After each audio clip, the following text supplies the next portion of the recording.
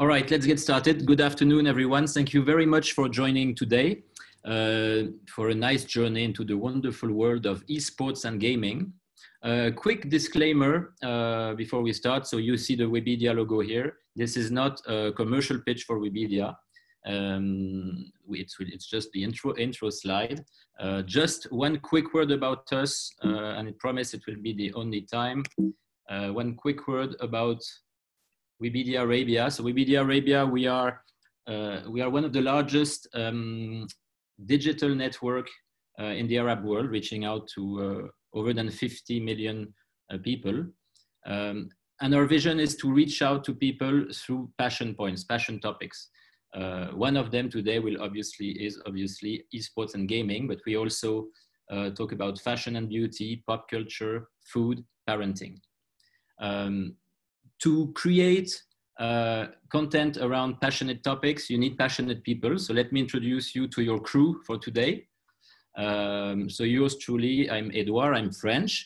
Um, I've launched uh, this business unit for Webedia Arabia two years ago. I have 10 years in Dubai. Uh, although this venture is quite new, uh, it, uh, after two years, uh, we can rely on our international network of Webedia, our mother company Webedia, which has been a key player in the world of gaming and esports for the past 10 years. And these experts that we can reach from uh, Europe, uh, South Africa, North America, uh, are helping us uh, in our day-to-day -day business. Uh, second, we have Joe, who's leading our commercial strategy and commercial efforts. Um, so Joe is not only part of the team, but probably even more interesting, Joe is the proud owner of uh, one of the most uh, prominent teams, esports team in the region, Divine Vendetta. Uh, and so he has lots of insider news from the uh, esports community. And last but not least, thank you very much uh, to Loui for joining us. Uh, so Loui is the brand communications director for Mobily. Uh, we had the pleasure to work with Mobily in their, in their first journey into the, the world of gaming and esports.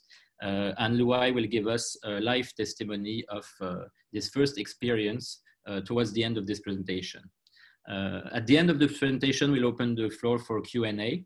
Um, so you'll, you'll be able to use the tool, the top button on the presentation to uh, ask your questions and we make sure to answer them. So let's go into the meat of things. Um, so today is about gaming and esports. Uh, there was a lot of noise lately because of the COVID and lockdown situation that gaming and esports are exploding. Um, to put things in perspective, uh, yes, this the phenomenon is accelerating, but it's it's not a new phenomenon. It's a reality that has been existing for a few years. And to give you a sheer an understanding of the sheer size of this phenomenon, uh, some very telling numbers. Um, 51 billion is the numbers of hours, total hours watched on, on Netflix in 2018. So in the entire world, 51 billions of hours of content have been watched on Netflix in 2018. During the same period of time, 50 billion hours of gaming content have been watched on YouTube only. Uh, so, you know, this, this gives you an idea of the size of YouTube, obviously, but gaming content only, on YouTube only, when you think there are, you have other platforms, this is it's a, it's a mind-boggling number. Uh, if you go, so this is from a consumption, a content consumption perspective. If you go into the market size perspective, the, the size of the music industry is $17 billion. The size of the gaming industry total is 148. Uh, and this is actually a number for 2019, not 18. Uh, so roughly 10 times the size, 10 times the size of the music industry.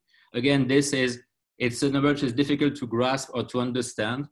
Uh, one of the best way to understand probably is to look at the viewership uh, of esports events. So in 2018, the final of League of Legends uh, was followed by 200 million viewers. Uh, League of Legends is one of the most prominent game when it comes to esports, uh, very popular in Asia and growing at, uh, in every country in the world. At the same time, the final of the Champions League football uh, was watched by 180 million viewers. So technically, esports is already bigger than football. Uh, this is a nice claim to make. uh, you'll see that it's, uh, it's, it's probably an early claim to make, but yes, it's happening. And really to, to understand this, I, if, if you're very curious about the topic, I would highly recommend you, when you have the opportunity to attend an event, attend a game conference, attend the tournament, even if you don't understand the, the, the game itself, but you'll, you'll be able to witness the sheer level of passion, of commitment, the quality of the production of these events to realize that this is already the real deal.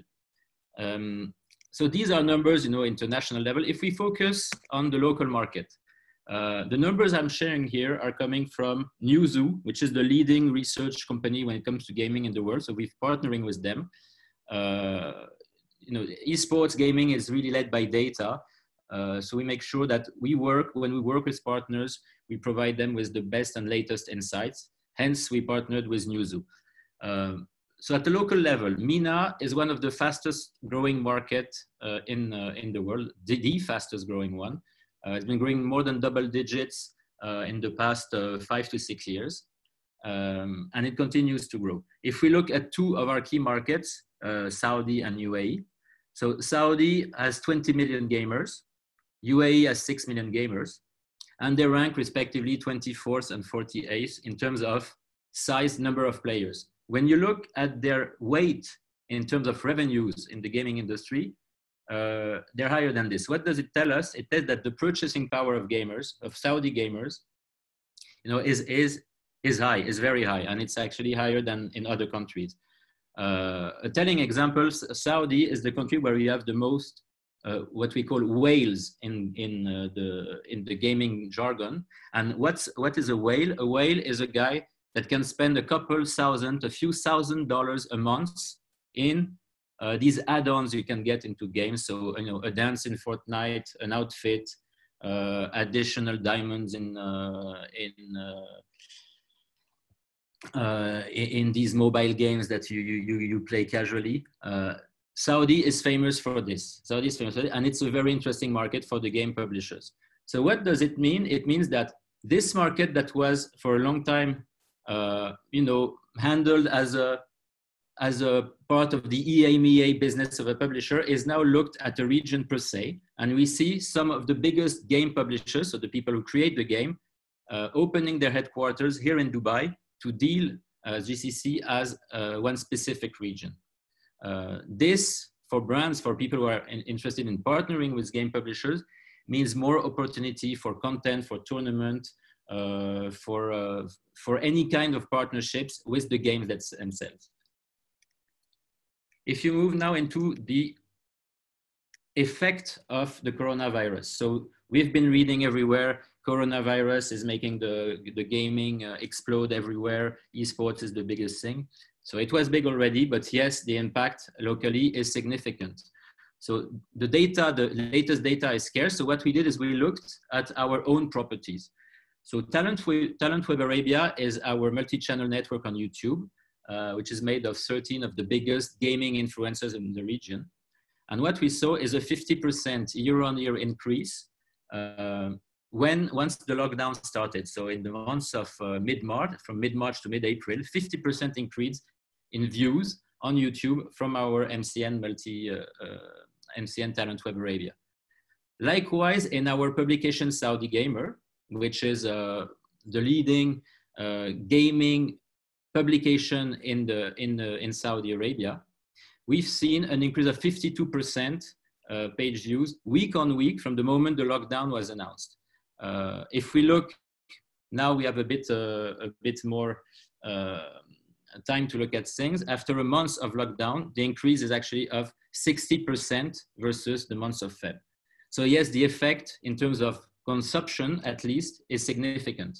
Uh, the effect in terms of number of players is, is, not there. The data is not there available, but this gives us a very good insight uh, from our own analytics on the impact of the coronavirus. So we've talked a lot about, you know, audience, who are these people? So yes, who these people are, it won't surprise you. They are millennials, they are Gen Z, uh, they are young people. They are, it's in, in Saudi specifically, it's 70% male. So you still have a significant 30% women with, uh, who, are, who are playing. Um, 68% of them are below 35 year old. Uh, and actually the remaining are Gen X or lower end of Gen X, so up to 40, 45 year old. And this gives you uh, uh, almost the entire gaming population.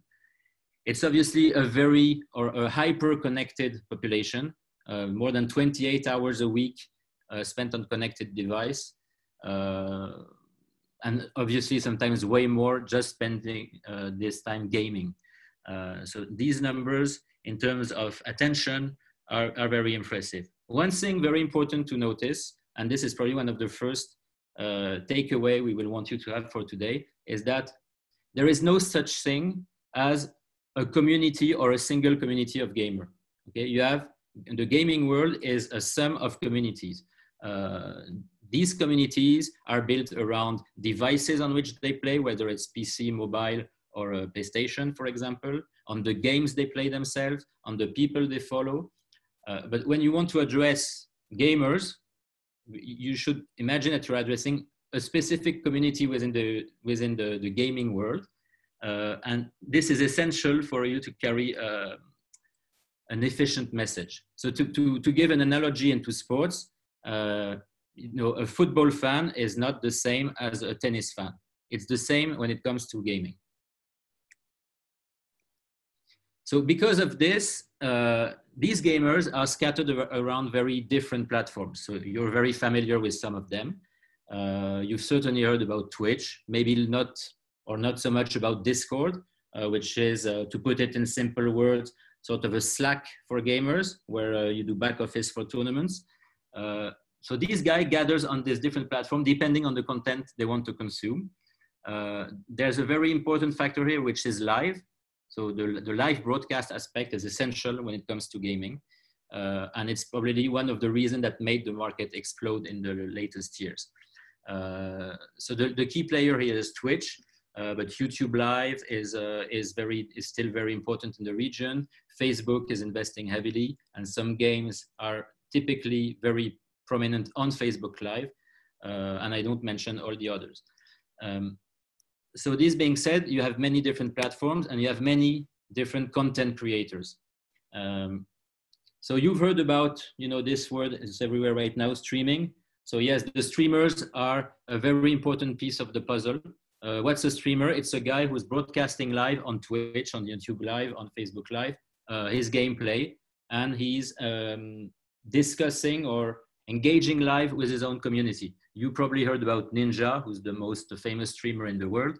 Uh, we see in the region uh, an, a huge growth of the number of streamers.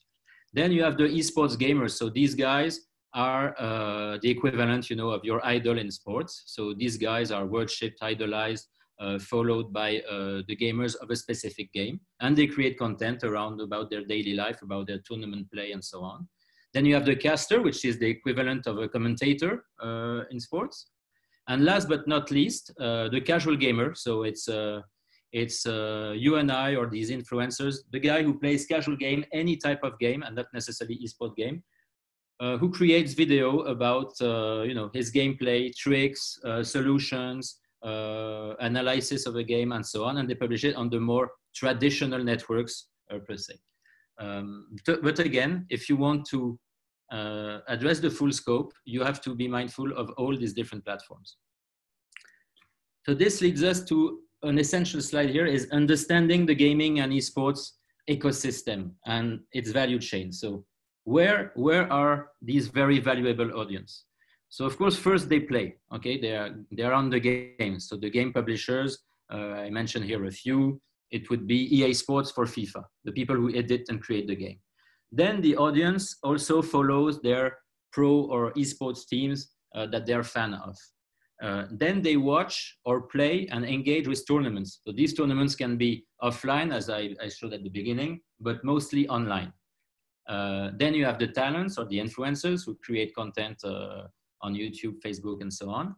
And last, uh, the media, which gives you all the latest uh, news and info you need to have on game, game releases, patch, tricks, and so on.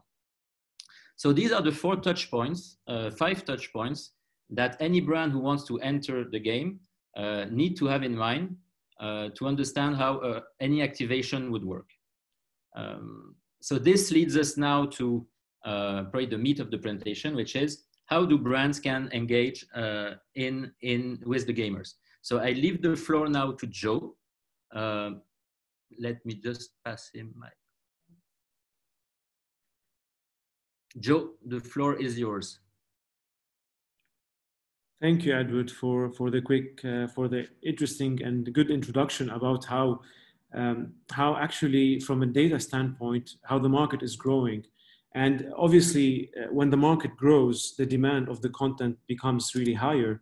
And when the demand becomes higher, then you see brands stepping into this environment, obviously to tap into the world of gaming and esports.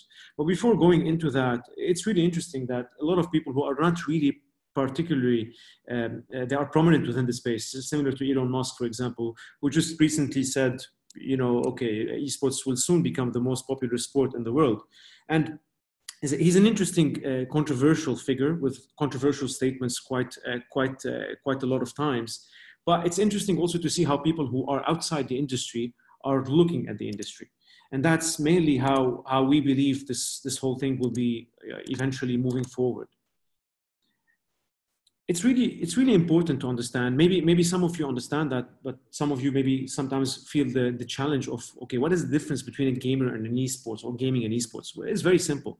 If you play games if you practice playing video games you are a gamer. It's as simple as that whereas obviously when it comes to esports it's really it really stands for the competitive practice of actually playing video games, doing it alone, in a team, online, in a competition, in a physical venue, really kind of doing it for, for the, not only for the, for the passion, but for the competitive level of trying to be the best.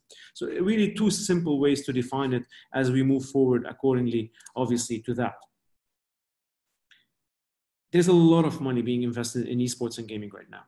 We're talking about $1 billion already being invested by brands in esports uh, and expecting it to double around in 2022. And you see a lot of brands who are going into the space really not very direct when it comes to gaming brands, similar to what you see here on the slide, Volvic and Shell. Uh, brands who are not really directly involved with the gamers when it comes to the product itself, but nonetheless, they see the opportunity. What we will be able to show you right now is a bunch of uh, examples where brands have taken the step of going into the gaming space with the content that they have created and why have they done that. We'll start with uh, Mercedes. You know, whenever we talk about Mercedes, most of the most of the perception goes to it's really my dad's car. Well, not anymore.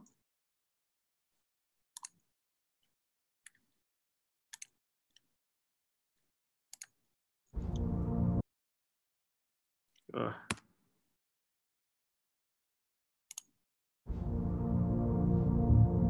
As you get older, life becomes all about following a few simple rules. Dress proper. Get a real job. Spend time with family. Dance to the beat of your own drum. Work hard get married. Move to the suburbs.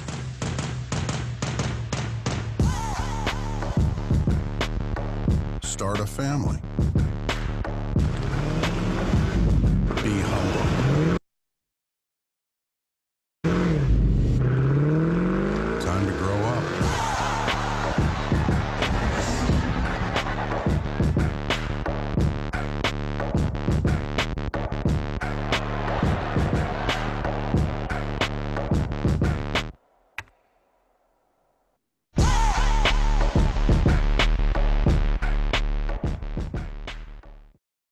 Interesting piece uh, on how to change a brand perception, obviously.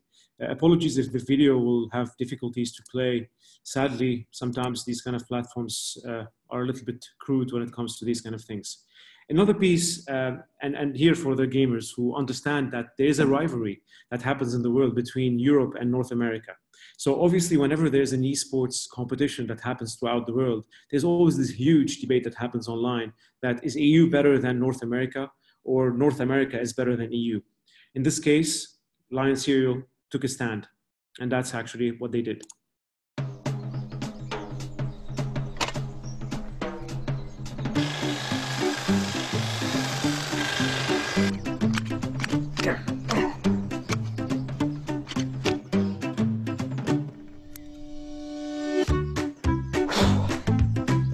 Ça, c'est un fan d'e-sport qu'a le Lion Style.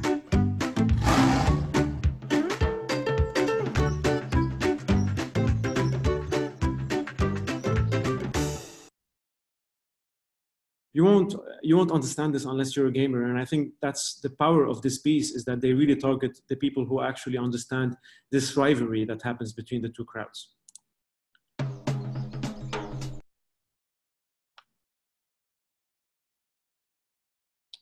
We have some brands like axe and you know what the axe brand is all about. It's about you know having your mojo and being able to uh, be seductive. They have found their way within the space while understanding also as well that you know what gamers do have their own mojo and with a series of interesting content they ask them to make their move. Oh, ball sticks. Sucks for jen. Maybe she needs cheering up. Uh maybe. Watch this.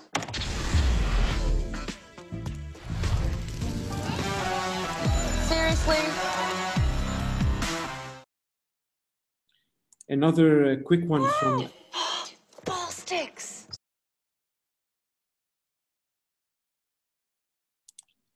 So it's our six month anniversary today.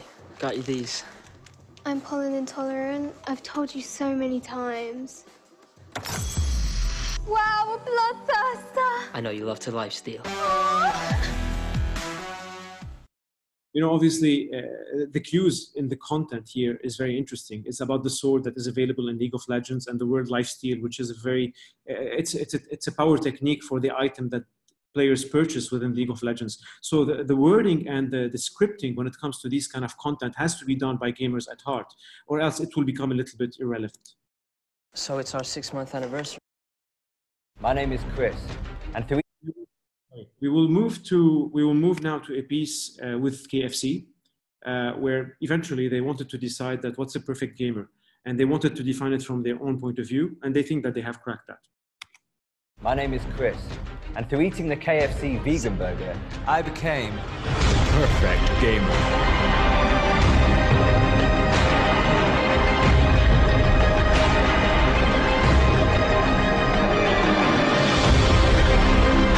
The first thing that I noticed was how much more energy I had.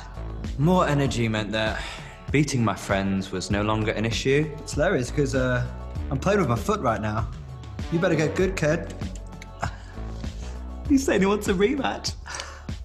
So I moved on to beating them two, three, four at a time. But it was all still too easy. Would you like to go on mine? Psych! Sometimes a different perspective is interesting. Back to the lobby for you, kid. Uh, uh, do you want any more egg on your face? I'd love it, but I'm vegan now. My reactions were so fast that I was playing Wii tennis and table tennis at the same time. I was reacting to things I couldn't even see. I call it vegan vision. Vegan vision. I should really copyright that, shouldn't I? I heard somewhere that Roman gladiators were plant based, which kind of makes sense, and kind of the closest thing there is to a modern day gladiator. Switching to a vegan burger diet has not only made me a better competitor, as we all know, switching to a vegan burger diet makes you a better athlete. Hang on, are you playing a game right now? Mm-hmm. And I'm winning. Standard. Is this of serious?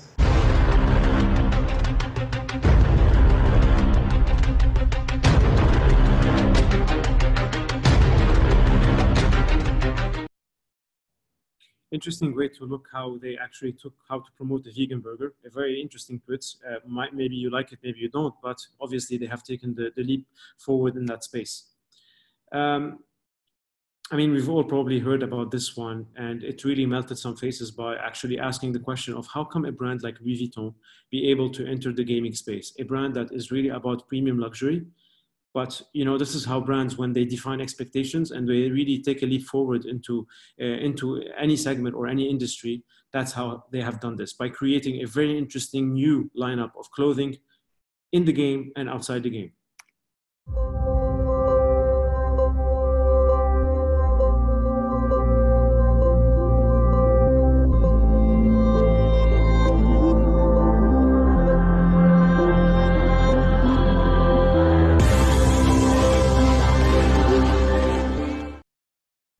obviously by creating these kind of uh, lines outside the game and also some skins for League of Legends to really uh, reinforce the partnership that they had, they really done the job in an excellent way. One of the brands that really kind of created a little bit of um, exclamation marks going into the space was a brand like Shell. Uh, a brand that is really in the, in the energy field, uh, doesn't really is not really reliable on the consumers uh, or the young consumers at specific. But they have taken that step forward because they understand that they can change a perception.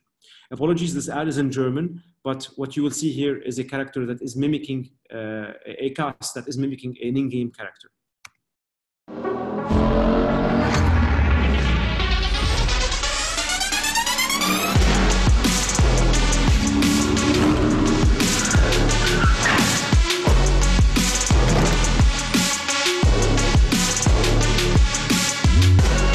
Einmal Punkte boosten. Jungs, ich habe aufgetankt. Shell Clubsmart-Mitglied werden und Punkte für League of Legends Prämien sammeln.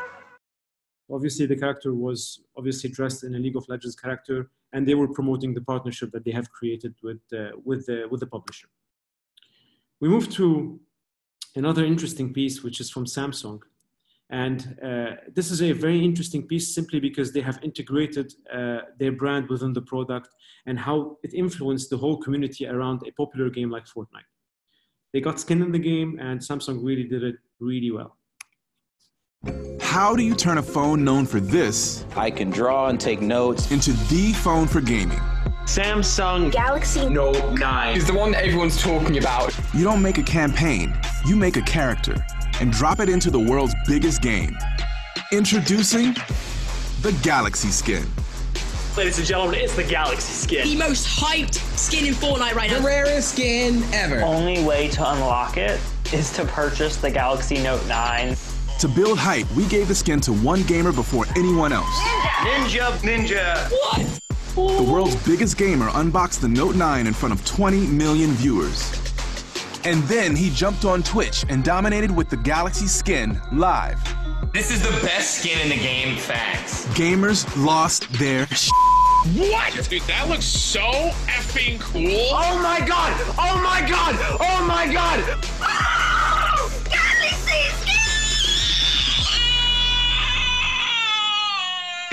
They had to have the Galaxy skin even if it meant attempting to download it from demo phones in retail stores. I'm at the mall and I'm going to be attempting to go and get the skin. It's loading, boys. Come all this way to get a Galaxy skin. We just wasted two hours. We didn't get the skin. Gamers shared their fails on Reddit.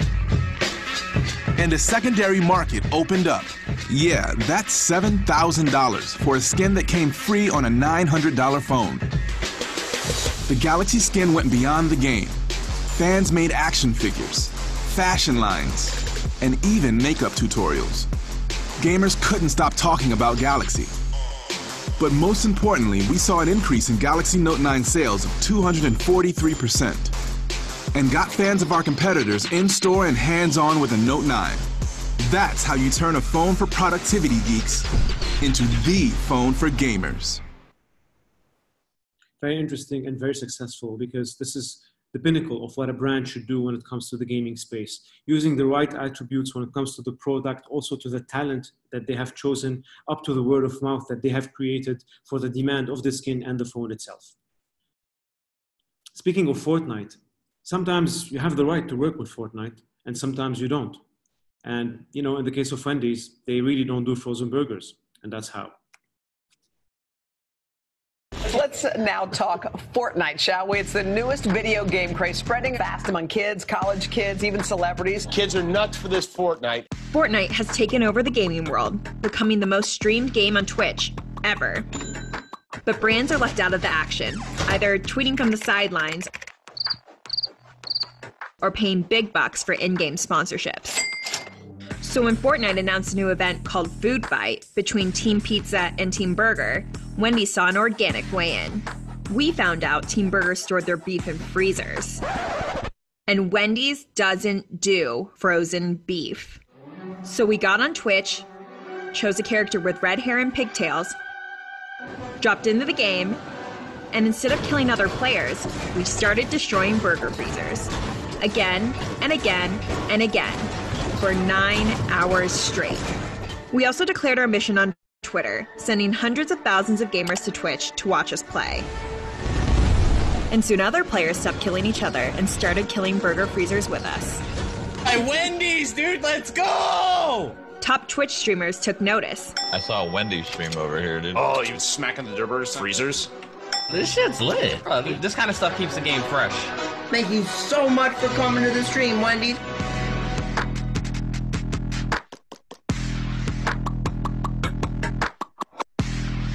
News outlets were talking about it. Even Twitch posted a highlight reel of Wendy's best freezer kills. Then, our own competitors showed us some respect.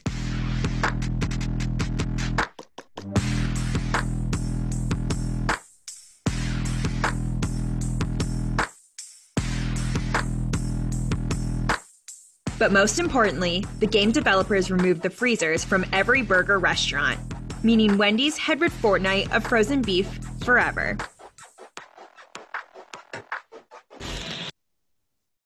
This is when you have a, uh, a creative director who is really a gamer at heart and there's a true insight coming from the game to do really great work.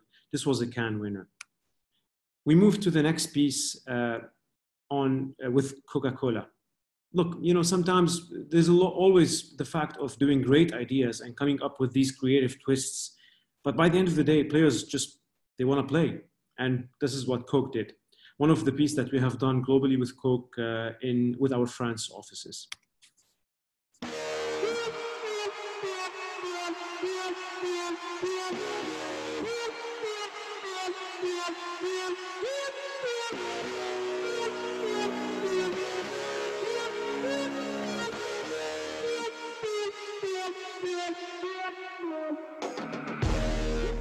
Go in the arena. Make the ground shake, make the ground scream. Ah. Me finna knock out my enemy. Bring the fire when I fight to the melody. Blood fire, you beginner. Keep on the game, me a winner. Your man them know me a leader. When I come in the arena.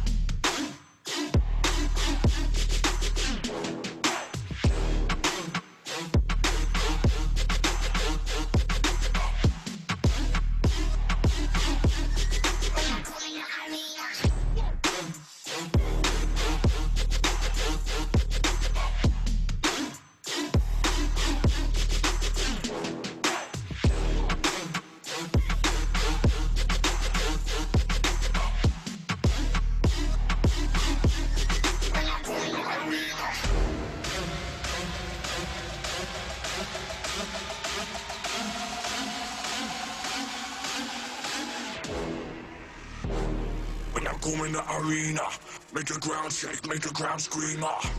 Me finna knock out my enemy. Bring the fire when I fight to the melody. Blood fire, you beginner. Keep on the game, me a winner. Your man them know me a leader. When I come in the arena. Sometimes you don't have to really uh, go very. Uh, you can go very operational. It's okay not to be very creative. It's okay to be the catalyst it's okay and absolutely fine to just let players play games. And that's a great success story from Coke. Uh, just as a small reminder, if you want to have any questions, please type it in the Q&A. We will get back to all the questions, obviously, after we finish the presentation. Thank you. Now we move to, uh, oh, it's freezing on me a little bit, one second. Okay. You know, we, we talked a lot about some global examples. And this is a, a, a, a, local example that we have worked with Pringles.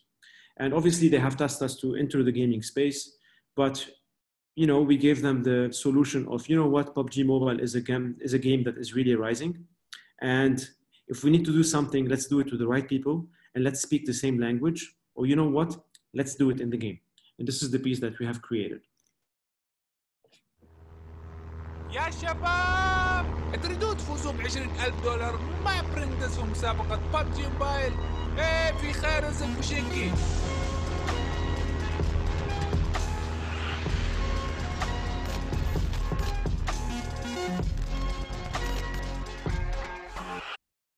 Simple, effective, and straight to the point. We spoke the language of what the PUBG community, uh, PUBG mobile community speaks using one of the talents. This guy is called UAE Skills. He's very prominent within the community of PUBG mobile.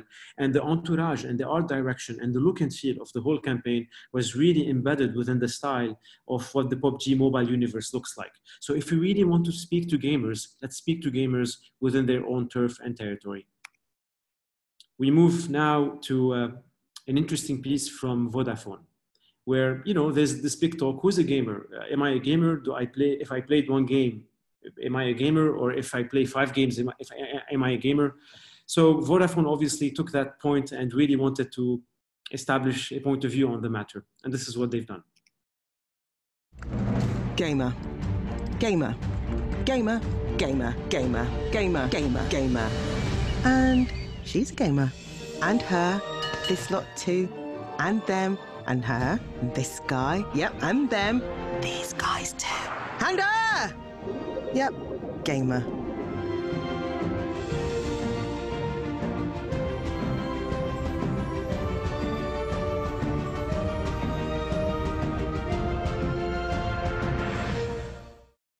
It's simple. You want to promote 5G, promote it to all gamers. And guess what? Everyone is a gamer we end this with a very special dear piece to us, uh, which we take a lot of pride in creating. Um, in Saudi, there's a lot of unsung heroes. There's a lot of there's a lot of players who have achieved greatness when it comes to gaming and esports, and they are not known. No one has ever probably heard of them. Some people have, but probably the mass community or the mass audience didn't really pay attention to the amount of efforts that these guys have done.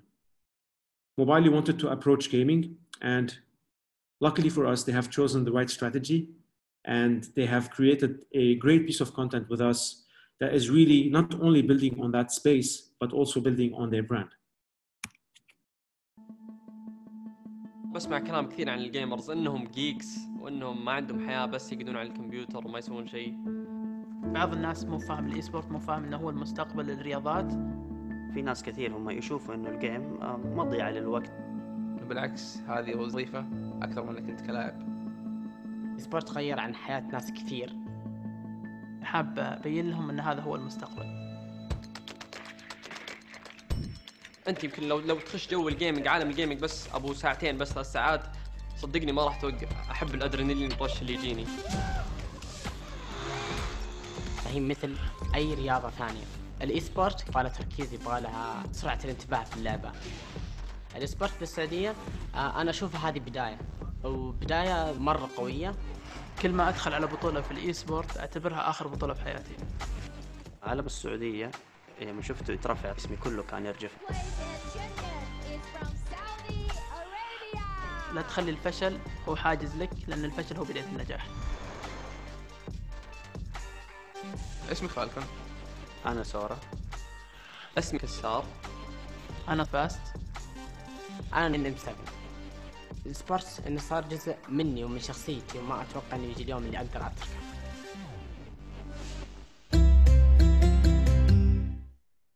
Obviously, Mobile didn't stop by this piece. They've created a series of stories about each and every single of those champions and eventually turned to okay I found this on the web for Hey series of stories about. That's, Check it out. That's my Siri, actually, just answering my question. Sorry about that. So, eventually, speaking of Mobily right now, what we will do is let's speak to the man himself, uh, Loui, about why they have taken that step and why they have, um, they have eventually approached gaming and esports the way that they have done, and what are the plans that they have for the future, obviously. So uh, welcoming Loui, uh, can you hear me? Yes, yes, I can hear. Thank you so much, Joe. Thank you guys for the opportunity and for us to actually talk about this. Thank you very much. Uh, I just really, before going into a lot of details, just explain to us what was the thought process, what you guys uh, acquired when it comes to how to tackle this subject. Uh, from, from obviously you've heard about gaming and esports for quite some time. What was the tipping point that made uh, Mobily go into this space? Um, well, I mean, uh, if you want to consider the whole timeline of how this operation all started, uh, it basically started from looking at a phenomena that started to materialize in Saudi Arabia in terms of us having. Um, uh, was uh, one of the first uh, Saudis to actually be crowned in the FIFA World Cup. Ironically, we lost that uh, FIFA World Cup, but we won it electronically. And suddenly people started incorporating the conversation of how Saudi lost the World Cup but won the World Cup at the same time. Uh, and then it started becoming more and more into a lot of circles as an idea of is this an opportunity to create content or is this an, uh, an opportunity to, to cross sell? Is it a platform? So it started with an experiment. And uh, one of the key uh, elements of this experiment is knowing who are you partnering with uh, who's going to be your partner and actually guiding you into this new territory? Because we knew that we had the intent of pushing forward when it comes to uh, uh, this niche and how we want to expand on it. But we wanted to know how to be relevant as well because uh, as you might know and some of the audiences are for gamers it's a heavily uh, uh, enclosed community. So if you're not relevant if you're not clicking with the with the audience there's no way you're going to make it uh, they can see you, they can see through you. So if you're not coming from a genuine place, uh, it's not going to happen. And if it wasn't for the passion of the team involved being gamers themselves, uh, it, it, wouldn't have been able uh, to materialize, at least, to understand where the opportunity lies. Uh, of course, it was a small uh, experiment at first, but it started to grow exponentially uh, based on the kind of engagement we're expecting. If it's something that is investment but high impact, suddenly it starts to equalize and you start to see more and more opportunities pop up. And uh, one of the key things that I think uh, us working together and you guys noticed is that all of this happened right before the government started to adopt heavy esports strategies. So we we were ahead of the curve when it comes to that, and now we're trying to be uh, or we're trying to cut uh, a small piece of ours, uh, I mean, of this new market, of this niche, uh, completely for us, uh, which is us trying to collaborate on creating boot camps uh, to help game development in Saudi Arabia. And at the same time, us trying to give a platform for every other gamer, because um, although gamers is a very vocal minority, but there are huge numbers, they don't get their moment in the spotlight unless it's a very popular game. Uh, and this is and this is why we decided that if people are focusing on one, we're focusing on everyone else, uh, being that everyone else is using us anyways, and we're trying to create this uh, emotional relationship, which allows us to actually cross-platform later on in the future. It's excellent what you're saying, and guys, please, if you have any questions for for I uh, and to how Mobily enter this place, please do uh, write them in the in the Q and A section. But you, have talked about uh, the, the, kind of approach to do it. Now, how do you see the, the whole industry going basically when it comes to the involvement of Saudi companies within the space? How everybody is jumping on that topic and how do you see it expanding obviously from the lens that you were probably one of the first brands who created a brand campaign when it comes to gaming and esports? How do you see the other brands going into the space right now and and to which space Okay. Well, I mean, um, uh, I have to say this disclaimer because again, I happen to have some sort of skin into this game, so uh, take me as a bit biased to what we're trying to do. But from my own observation, I'll try to be as objective as possible because again, uh, we were trying to go through the same sources of evaluating our research. Uh, our own observations is that the market is actually starting to notice that there is an opportunity, or else you wouldn't have a full on government section uh, dedicated only for esports. And nobody expected, me being a gamer myself, nobody expected something as a League of Legends tournaments to have the biggest cash pool prize in the Middle East to happen literally like three or four months ago. This is something that happened overnight, at least for me, because this time last year, everything was in plans, uh, maybe it will happen. Nobody knows if this esport thing is going to be. There's a lot of rumors happening around. Oh, this brand is jumping in. Of course, telecoms happen to be uh, competing in this space head to head because they have the biggest uh, stake in this, being a service provider to these gamers. So it allows us to understand what those gamers need, and it allows us to understand as well how do we talk with them. Uh, we are not just a uh, a snack that they can actually eat while playing. They have a, a relationship with us, be it in service or being in the loyalty that we're trying to create. And uh, what we're seeing from the other brands is that they break down to two categories: focused but quiet, or completely scattered but very loud. Um, and we'll see the impact usually around every every quarter or so.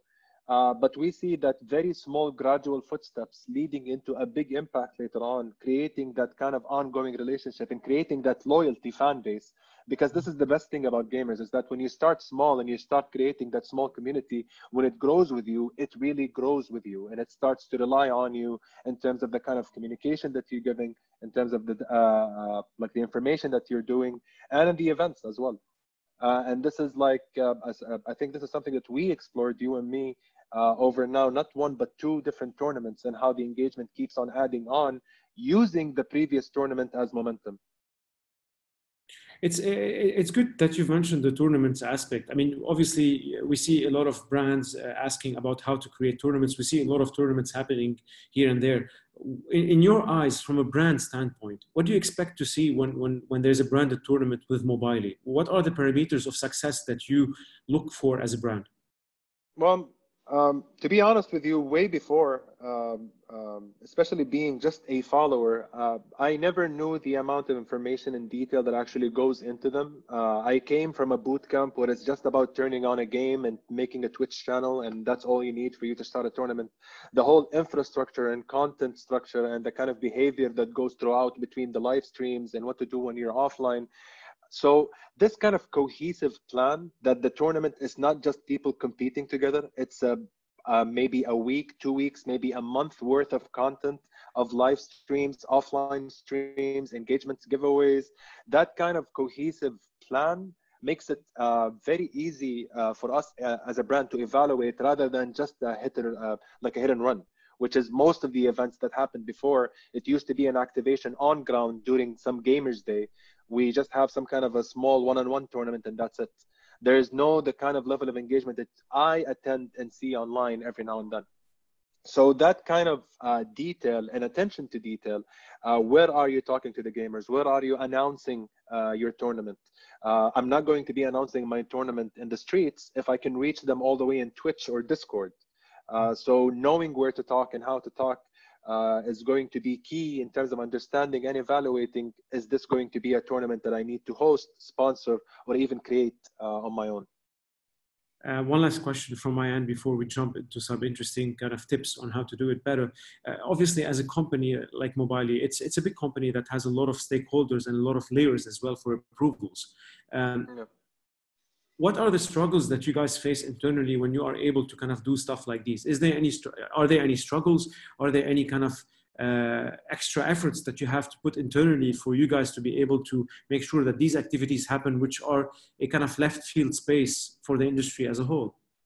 Well uh, I wouldn't call them struggles more than trying to identify yourself with something that is completely new. Uh, uh yani Mobily in Saudi Arabia has been there for 15 years, and we're very known to be an innovative in the market in terms of how we actually approach solutions.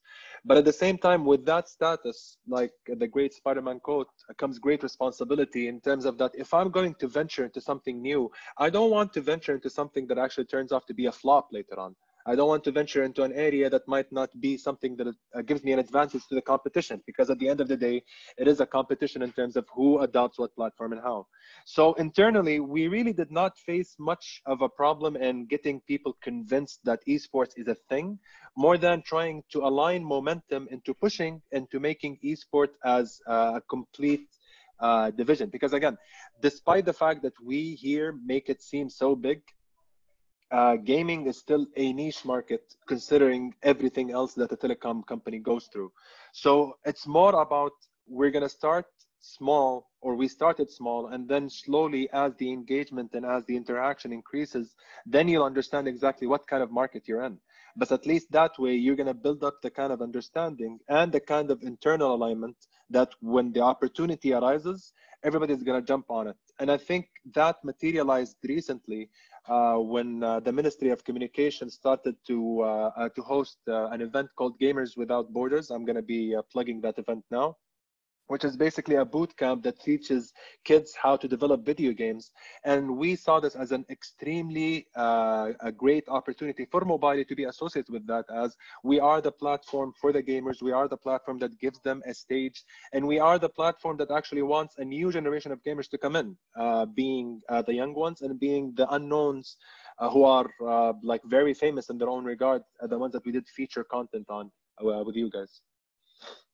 Great, um, very insightful, very insightful tip tips uh, for brands to go into the space, and this is exactly what we will be moving uh, to next uh, on how a brand, if if a brand wants to go into that kind of space, what kind of what kind of tips we can give them by the end of this uh, this webinar. So first and foremost, I think play by the players' rules not your rules. It's and, and, this is a great example of how Pringles and Coke, uh, the, the, both videos that we have showed you, they are very genuine to the gaming community. They are really creating uh, elements that players want to play, uh, tournaments, events, activities. Uh, similar to the world of PUBG Mobile that Pringles created, really simple. Don't overcomplicate it. Don't really try to create something that is new to that space. Stick by the rules that the players really adhere to, and everything will be fine. Um, tip number two I think here to what Mobily did, obviously, and what, what Vodafone example we showed you, work on an idea that is helping the gaming community at first. We have seen with the Mobily campaign, uh, bringing that voice uh, to the public, bringing those uh, those gamers to the limelight, giving them something in return to what they have done to their country and to their communities. So whenever you want to work on an idea, try to work on something that is really helping the gaming community because this is how the perception will be obviously reverted back to you in a positive sentiment. Another tip, link the initiative to your brand values. There's really always a fit. And we've seen how Mercedes obviously have done this. And I will take the example of Axe. Axe is a brand that's really building, uh, it, it got built on the essence of creating its mojo of being able to be seductive. And look how they used a gaming scenario and a gaming context to really fit that kind of uh, value that they always stand for. And this is very important. There's always a brand fit. And, and, and this leads me to the fourth tip, which is also important. Going into, a, going into gaming and esports can really change a brand perception. I mean, Shell did it. Shell, obviously, it's a big bad energy company, and you know the Generation Z look at it as you know this is a fuel company that is uh, not helping the world when it comes to the global warming and such. But obviously, going into that space, talking to that audience will be able to give you a trick or two to work on your perception towards a, a, a certain community. Tip number five, do not be intrusive, be insightful, be authentic. Look at Wendy's, really simple, straightforward. They didn't really overthought about how they want to do it. They really just understood the game and they really understood how the gamers play the game.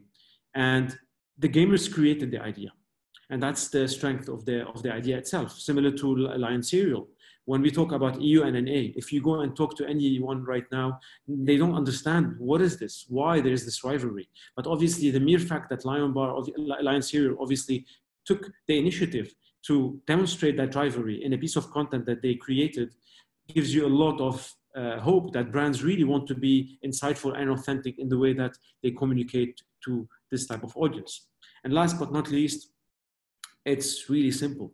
Speak to gamers where gamers are. We talk here about Facebook Live, YouTube Live, Twitch, Discord, and I know there's there's there will be questions where is Mixer, where there's a lot of live platforms. Here we chose the platforms obviously that uh, they are available uh, and strong within the region. Um, I think the screen is yeah mixing, so it's good right now. So nonetheless, these are the six tips that we leave you with. Please uh, do type your questions in the Q and A. And I think we will be able to take those accordingly right now. So Edouard, to you. Thank you very much, Joe. Uh, so now it's time to go into the Q&A. Uh, I hope you guys found this uh, very interesting. Thank you very much, Loui, also for your very insightful uh, testimony. Uh, I do see a lot, lot of, uh, of interesting questions here. we'll try to answer some of them live, most of them live. Um, and I'll redirect these to uh, you, Joe, or um, or Loui. Um, okay, I, I, was expecting this one, and this one is interesting indeed. Um, we talked a lot about the target audience, and we have a question. Uh, Joe, is gaming spreading among women in the region? Absolutely, absolutely. It's that dramatically growing. We, we've seen 70 30, and obviously this number is really growing to, uh, to the 40s as we speak. Uh, we see a lot of game streamers right now. We see a lot of esports organizations that are hiring game streamers, female game streamers, uh, on, on a continuous basis. It's becoming a norm. It's becoming not a trend, it's becoming something that is absolutely normal. We expect this to be happening more and more often, and we expect we expect also brand to jump on this more and more often. There was a girl gamer event that happened in Dubai a couple of months back, and obviously, when these kind of things will occur, the growth will happen, and obviously, women will tap into the space more and more as we go. Great, thank you. Uh, I see several questions for Loui. Loui, are you still with us? Yep, I'm here. I'm just on mute because my kid is just running around me. Yes, these are the joy of uh, confinement. So, a first question for you, Loui. Um, with 5G taking gaming experience to the next level, uh, how do you see the communication strategy shifting for Mobily? Well, I mean, you just said it. Uh, 5G is more of an adaptive uh, technology. It's not an intrusive technology. So you're not really introducing more than you're trying to showcase the application of how 5G is actually improving every single aspect of what you already know. Um, uh, the audience right now are not as uh, illiterate as they were before. Everybody is tech savvy. Everybody understands 5G is the hype. Uh, it's all about the application. And uh, uh, like here at Mobily, we're studying all across the separate type of applications that are actually associated with 5G, with gaming being at its core because of latency. Uh, and this is one of the things that uh, um, when it comes to speaking the language, if I know how to market 5G, I know exactly what is going to be setting me apart than everybody else. And I know exactly what is going to be the appeal or the plug when it comes to uh, gaming in general. Loui? But that's yeah, but that's but that's but that's all I can uh, like say at the moment. All right, and and a second question for you uh, from someone in the audience who's definitely uh, very knowledgeable about esports, and I think Joe, you will be able to jump in as well. Um, so it's as you know, gamers hold grudges and have a very long-lasting memory. This is very true. Um, in saying that, there have been several large tournaments that did not go according to plan in our region, and has scared several esports enthusiasts, both players and viewers. Uh, in your opinion, have these tournament organizers in our region learned from and improved on these missteps in recent times? And if so, do you have any examples of recent tournaments that set the right example? Apart from your tournament, uh, Loui, yeah, of course, because yeah, because I'm gonna be like uh, uh, biased on this, but yeah, I mean, uh, I I totally agree when it comes to yes, uh, they never forgive and they never forget. Um, when I mean, when any tournament that I attend, either virtually or actually in person, and it goes bad, I make sure that I at least bad talk that tournament for the next two weeks. So I understand exactly what they're. I mean, where that's coming from. Um, but then again, because this is a market with both uh, leaders and followers, uh, you're going to find uh, certain events that are hosted and organized by companies that are about to make a profit and they treat it as an activation. And there are companies that treat it more like an actual event with uh, uh subscribers, with followers, with attendees, and so on and so forth. Um, uh, what I noticed, uh, at least what we noticed at Mobily, is that the variety of the suppliers has definitely increased, both locally and internationally. Uh, uh, more and more people are uh, targeting certain interactions, certain type of events that they actually want to be associated in. Uh, they're promoting their services. And of course, the track record of these companies, uh, before us as a brand get associated with anybody else, the track record of these companies and the events that they hosted helps a lot in terms of deciding this event is going to be good or not. Uh, we get a lot of really interesting proposals and usually when we remember, oh, so this is the company that hosted that event, and I remember that event was not that good, uh, we automatically say, uh, no, thank you, and we move on to the next option. So brands need to be aware in terms of what kind of uh, track record they're looking at to avoid uh, creating that kind of stigma with the audience, because again, once you lose that audience, it's a very hard uh, path for you to win them back again. So definitely, uh, uh, uh the organizers learned, and the growth of the market is a big uh, segment of that. But of course, there's ups and downs uh, in that growth. I would just add, add a quick point on, on the ice point here. It's very important for all tournament organizers to understand um, the, the, the, the, nuances of broadcast and how the nuances of broadcast work and how the live business work. And they need to really understand also as well that in order for us to have a very successful live, it's very important for us to understand obviously how the reaction of the crowd goes to the live how they interact with the twitch channels how they interact with the registration process from putting your email to participate in a tournament at, and until you receive the prize pool um, it, it has to be a communication that happens at every single layer from the moment that they participate up to the moment that they sign off from the tournament itself and they need to have a very clear communication with the organizer and a very transparent tournament with the organizer that is available almost all the time. You're talking to kids who are 16, 17 year old. They don't understand how business works or how the business should be working for them. All what they want, obviously, is to have a very good play and they have a very good organizer as well to kind of uh, provide them with that space. So it's a very challenging space. And to your point, absolutely right. They will not forget if you fail. So the trick is really not to fail and to really keep improving as you go. Thank you, gentlemen. Uh, we have really lots of interesting questions, so hopefully we'll, we'll answer most of them. Um, a quick one for you, Joe. Um, an interesting one. It's so Mobily is definitely a, a great uh, case. Um, however, not every company is Mobily uh, in terms of, uh, of uh, size and, and budget. So with clients being nowadays more budget conscious, uh, how how how such an operation like Mobily's is scalable budget wise? I think this, this is the, the interesting thing and the beauty about the business that it is scalable. It is something that can vary from a very small budget to a very high budget. Uh, the scalability of this obviously happens uh, in the context of time and in the context uh, in the context of the amount of content that you create. Uh, people get really uh, you know they think that doing something uh, as the Mobily stuff or any other tournament or content is really a huge amount of money. It's really not. It's you can really win uh, with small tactical initiatives and with really budget efficient uh, uh cases. Doing a small gaming activity is really not a lot of money but doing it right is obviously what is the importance uh, of it. You can reach it through uh, you can reach gamers through doing content throughout obviously branded uh, elements with streamers, throughout uh, obviously creating uh, some ads, sponsoring teams. There are a lot of avenues where you are able to really have quick gains without really going all in. and identifying also the community at hand is really important. So it's really not a lot. It's it's really not a lot of money, but it's smart money basically.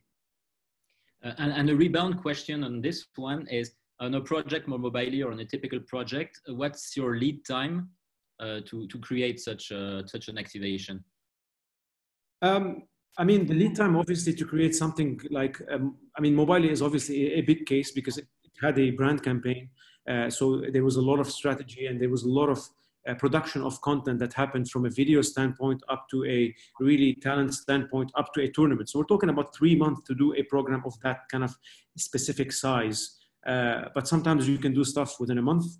Um, the, the, beauty about the industry is very agile. We are able to activate it very quickly. We were tasked to create a Fortnite tournament for Mobily during COVID-19. So we have done this obviously within a couple of weeks while everybody is in their bedroom.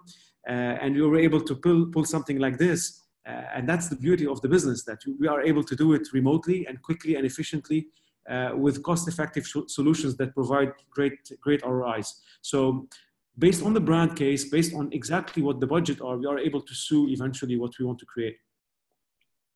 Great, thank you. So I see a lot of question on, um, you know, what are these budget conscious solutions? Can you share the presentation and so on? All of these, um, I, I, suggest we we take this offline afterwards with uh, you people interested. Uh, obviously, we could have made this webinar last uh, an hour more or two hours more. Uh, so we try to addressing top line and give you relevant examples. But then for sure you may have questions relevant for your specific industries, your specific budgets. Uh, we would be very happy to take this offline with you and provide you with more insights uh, on specific game, on specific industries. Uh, to continue on with a couple more questions, probably. Um, so I see some very expert questions. Um, so we mentioned a lot uh, the platforms like uh, Twitch, uh, YouTube Live. Uh, an, a bit of an expert question, but it's why didn't we uh, why didn't we mention Mixer here, Joe? I mean, there's there's around 20 live streaming platform in the world. 2022, even right now, uh, the Chinese uh, platforms are dramatically increasing by the minute. Uh, we didn't mention Mixer because sadly Mixer isn't really didn't really pick up in this region. So it's just for presentation purposes.